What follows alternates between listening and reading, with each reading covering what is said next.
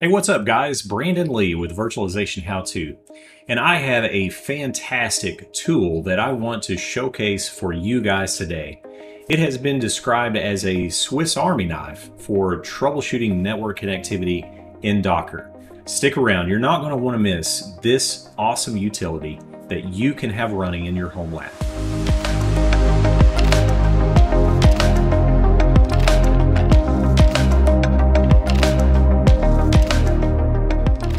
Well, the tool that we have introduced is a tool called NetShoot.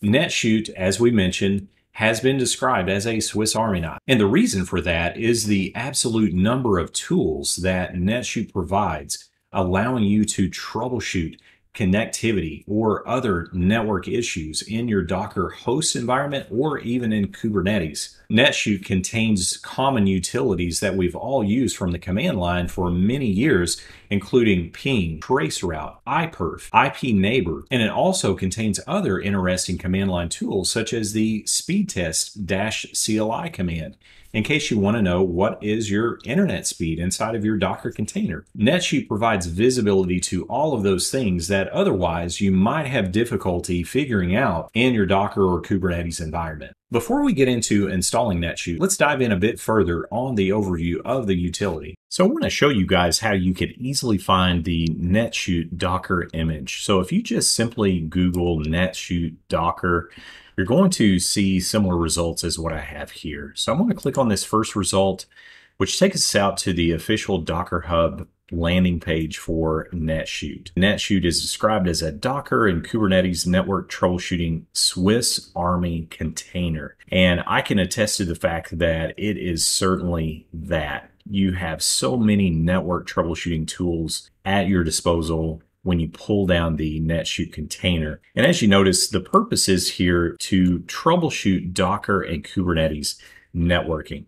So when you have that abstraction layer in between your physical network, a Docker host that may be virtualized, that may also be connected to a virtual network, then you have the further abstraction of that Docker bridge network network troubleshooting can get a bit dicey as you try to understand what is actually happening with your network traffic from within the Docker network. So obviously it is beneficial to have visibility from within the Docker network as opposed to trying to figure out what's going on underneath the hood, so to speak. And if I flip back over to the Google search result, we're going to go to the official GitHub page for NetShoot. And I want to give you guys a look at the network utilities that you actually have at your disposal when you're running the NetShoot Docker container.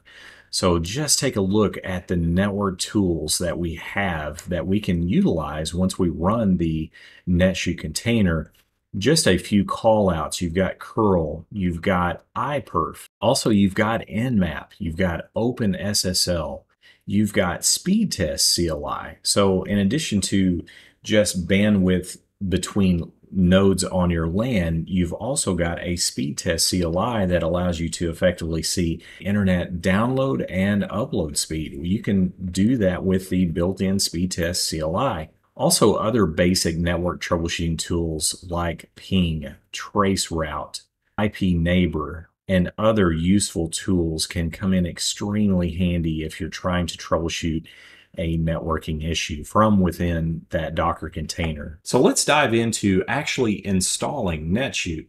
How do you download the NetShoot container? Is there any configuration required? And how do you get up and running with running some of the network troubleshooting commands that NetShoot offers. Okay, so let's actually pull down the NetShoot Docker container. I'm going to paste in the command that we need to run, and that command is simply docker run dash dash rm for removing the container as soon as it exits we're passing in the IT flag, which allows you to interactively work with the container. And then we're also using the privilege flag along with the container image. So let's execute the command. And as soon as we execute it, it starts pulling down the NetShoot image. You can see we're already exec into the container interactively.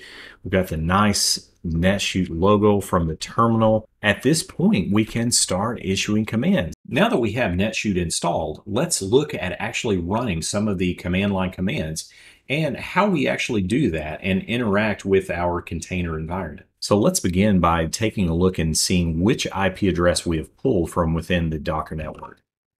As we can see, we've pulled 172.17.0.3. I'm going to take just a moment since we pulled this 17.0.3 IP address. I wanted to exit back out and let's take a look at the Docker networks that we have on this particular host. So as we can see, the default Docker network is just named bridge by default. And that's where this 172.17.0.3 network is coming from. As you notice though, we've got a couple of other networks, one of which is one that I created called Traffic. And I also have Traefik as well as Pi-hole and a test container, Nginx container running on that particular network. We can do a Docker inspect traffic, and we can see exactly which network we're, we're dealing with.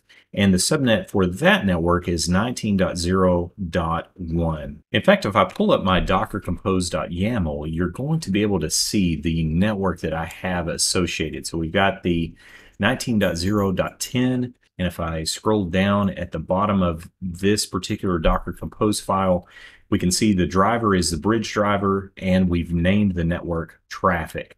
So that is the other network that I have on this Docker host. So that is interesting to me because I can now, with the uh, NetShoot Docker container, is we can connect to the exact network of another container that we have running on our system.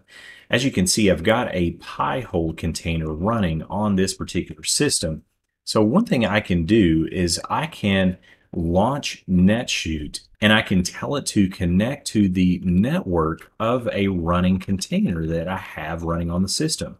So as you can see, I'm telling it the network of Pi-hole and then I can run NetShoot. And now one of the very cool things is that not only do I have an IP address in the network of the traffic network where all of those containers I have running that I may want to troubleshoot connectivity, but it is also running as the exact IP address. In fact, just to prove that to you guys, I'm going to go out to my Docker Compose code, and as you can see, I've got Pi-hole here, and take note of the IP address that Pi-hole is assigned on this named traffic network. So if I exit back out, going to change directory again. We're going to clear this out so you guys can see this better.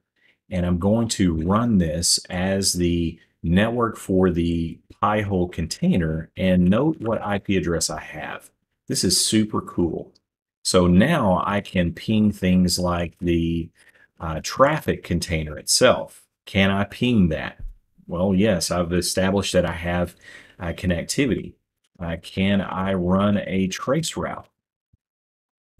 And you can run a trace route, connect, and see your network hops along the way. I'm going to close out of this before it finishes, and we can do things like IP neighbor show, which we can see that we've got the reachable status for our Traefik container from the Pi-hole container, and we also have a reachable status for the default gateway, which is 0.1 super, super cool. So as you can see, we can do a lot of really awesome things as far as network troubleshooting right from within the NetShoot Docker container. I know I mentioned to you guys the speed test utility, command line utility. Well, we can do that.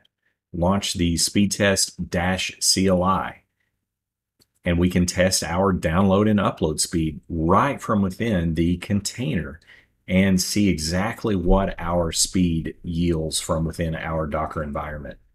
Guys, I think NetShoot is extremely, extremely cool. As we have seen in the video, the tool is super easy to download, to install, and no configuration required. The tools are already there. So if you are already used to running command line network troubleshooting utilities, then NetShoot is just going to be like riding a bicycle for you. Well, hopefully this video covering NetShoot will help you guys to add to your tool belt of tools that you use in your home lab environment as well as production environments.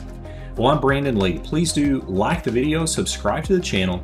Stay safe out there, guys. Keep on home labbing, and I will see you guys on the next video.